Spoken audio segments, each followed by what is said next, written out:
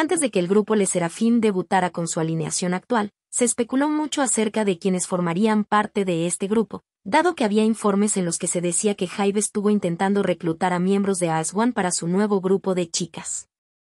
Como se sabe de estas integrantes, solo Chewon y Sakura llegaron a firmar para Source Music, mientras que Kim Minju, la supuesta tercer miembro de as que debutaría con Le Serafim, rechazó la oferta. ¿Pero por qué lo hizo? Según las investigaciones del medio de comunicación coreano YTN, la agencia de Kim Min-ju, Urban Works, estuvo en conversaciones con Hype sobre su futuro, pero después de discusiones ella decidió seguir una carrera como actriz en lugar de ídolo. El medio de comunicación compartió que Min-ju estuvo entrenando actuación y audicionando para diferentes trabajos cuando Hype intentó constantemente reclutarla para su grupo de chicas, poniéndola en una posición difícil. Un miembro del staff incluso declaró que Hype efectivamente había decidido contratarla y se había puesto en contacto con Urban Works, su agencia en ese momento.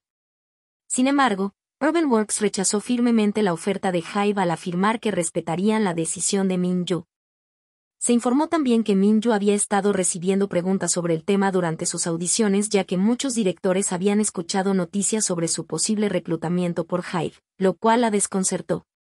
Un miembro del staff de su agencia declaró firmemente que Min-ju no tiene intenciones de promocionar como ídolo y que incluso cuando apareció en Produce 48, ella ya había empezado su entrenamiento de actuación.